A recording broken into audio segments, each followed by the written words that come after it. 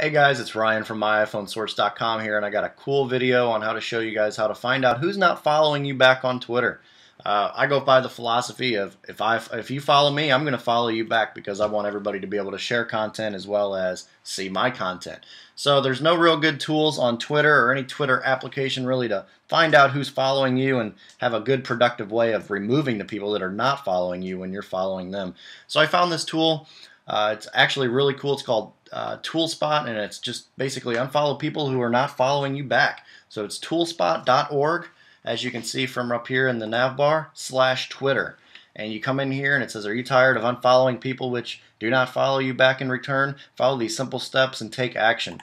I have done this and I have been using this for a while and it works really well. They don't post anything to your Twitter, and it's, I mean, really easy and simple to use. And I'm going to show you guys just a little bit here. So the first thing you're going to want to do is click to sign in with Twitter, and it's going to pull up your Twitter page, and basically it's going to allow you to authorize the application. It will not see your Twitter password. It will not access your direct message. It will be, however, to update your profile or post tweets for you. I have not gotten any tweets posted on mine and I can show you guys that proof of that here because considering that I just did it I'll drag this over here to this is my Twitter here and you can see that there is no advertisements on here from this website at all so uh, let's go ahead and authorize the application and it's going to redirect you back to the website it's going to pull you back up to the toolspot.org website and you can tweet it or not. Uh, but let's go ahead and get the list. Get the list of friends who are not following back, or you can get the list of followers who are not followed by you. So if you guarantee that you follow everybody that's following you,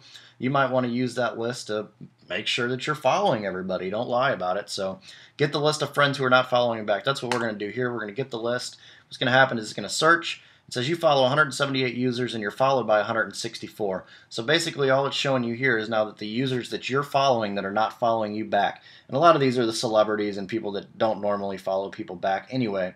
But if you scroll down here, you can find somebody that you don't want to follow anymore. Let's say I don't want to follow uh, this person here because they're clearly not following me. 406 followers, 431 friends, they're not following me. So I'm going to click unfollow and it's going to request to unfollow and then it's going to say done and back to the screen that you got. So if you guys are looking for a good way to remove followers, very productive, re to remove followers that are not or non-followers rather, this is a great tool. It's toolspot.org, sorry, slash Twitter and authorize the application and you can get the list and it works just like that. So hope you guys enjoyed the video and until next time, we'll see you later.